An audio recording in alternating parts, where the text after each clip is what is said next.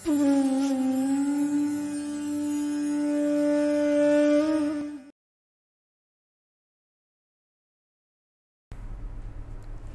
सबको मेरा प्रणाम। कुंडलिनी जागरण की सीरीज़ में आज बात करेंगे प्राण चक्र पर। इसे जीवन चक्र भी कहते हैं।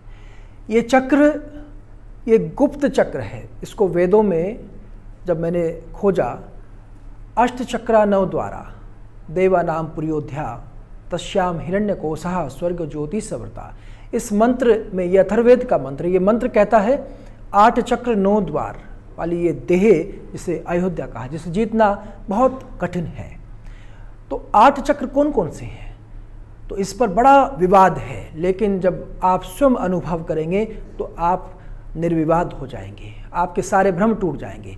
तो प्राण चक्र की आज हम बात कर रहे हैं। प्राण चक्र हमारा जो नासिका और अपर लिप्स के जो मध्य का भाग है, यहाँ का स्थान है, इसे प्राण चक्र कहते हैं। जीवन चक्र भी कहते हैं। जब भी आप श्वास लेते हैं तो ये प्राण चक्र की ही शक्ति है जो प्राणों को धारण कर सकते हैं आप शरीर के अंदर। तो प्राण चक्र की शक्ति को कैसे आप जागृत करें, ताकि आपके प्राण विशुद्ध प्राण आपके शरीर में प्रवेश करें, और जितना भी बाहर का जो पोल्यूशन है, वो आपके शरीर में प्रवेश ना हो सके। तो प्राण चक्र को जागृत करके आप बहुत कुछ विशेष शरीर की शक्तियों को जागृत कर सकते हैं, क्योंकि पूरे शरीर में प्राण ही व्याप्त है। प्राण के द्वारा ही ये संसार संचालित होता है, प्राण के द्वारा ही आपका शरीर संचालित होता है।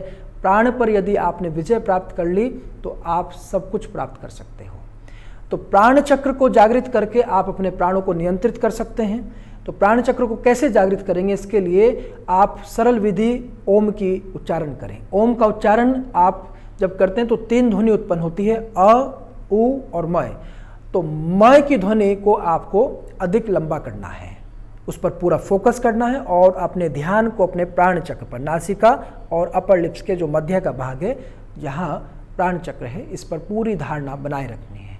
इसकी वाइब्रेशन को फील करना है। तो आपका प्राण चक्र जागृत होने लगता है और विशेष कुछ और भी विधियाँ हैं, उनको आप स्वयं न करें, वो कुछ साधना की योग की विधियाँ हैं, उनको आप गुरु के सानिध्य में ही कर सकते हैं। तो आप अपने प्राण चक्र को जागृत करें, प्राणायाम का अभ्यास करें। प्राणायाम, अनुलोम विलोम, नाड़ी शोधन और बहुत तरह के बाह्य प्राणायाम, अभ्यंतर प्राणायाम कुछ विशेष प्राणायाम भी इसमें साधना की जाती है तो जिससे प्राण चक्र जागृत हो जाता है। तो आप सभी अपने प्राण चक्र को जागृत करें और अपने प्राणों को पुष्ट करें, अपने आप को बलवान बनाएँ, शक्ति, शक्तिवान बनाएँ। आप सबके लिए बहुत शुभकामनाएँ, आप सबका कल्याण हो। ओ सब्सक्राइब करिए योग गुरु राजेश चैनल को और बेल आइकन को प्रेस कीजिए। हमारी लेटेस्ट वीडियो के अपडेट्स पाने के लिए।